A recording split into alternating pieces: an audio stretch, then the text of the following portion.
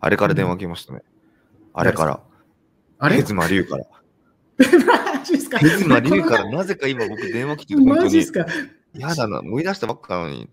ね、新幹線でさあばよっていうやつが一人で吹いたんですけど、あれ。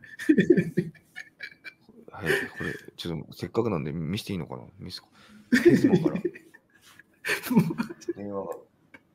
本当だ。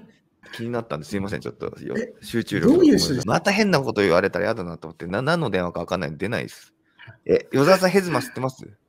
知ってます、知ってます。あの逮捕された人ですよね、なんか、そうですそうです迷惑は系 YouTuber で。あの三崎くんと,、えっとスパのズームやった時に、落ちた人を救ってあげたいって言ってて、はい、はい、はい、そうそうそう。その後にへずまが出てきたから、あそういうことと思って、面白かった。落ちた人を救いたいって言ってたじゃないですか。そうなんですよね。この間動画で出したんですけど、はいもう関わらないって決めたんで、はいけどなんか、すごいこのタイミングで電話してくるのなんか嫌です、怖いっ嫌な予すね感がする。嫌な予感がするんですよね。突撃されるから、マジで気をつけた方がいいと思う。すごい嫌な予感がする。だからちょっと集中しなくてすいません。大丈夫です。多分美咲くんに名前出してもらいたかったんじゃないですか、ライブ中にって。ちょっと要件が LINE で来てたんですけど、はいはいはいちょっと違う要件でしたね。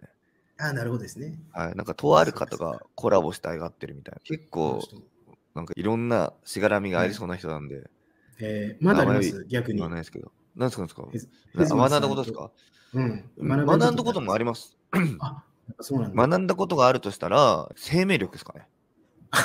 なるほどね。まあ、あとこれリアルに言うと、悪名は無名に勝るってことが分かりました。ああ、確かに。やっぱりヘズマンのこうやって話題にしちゃってる時点で、ある種ちょっと負けなんですよね、多分。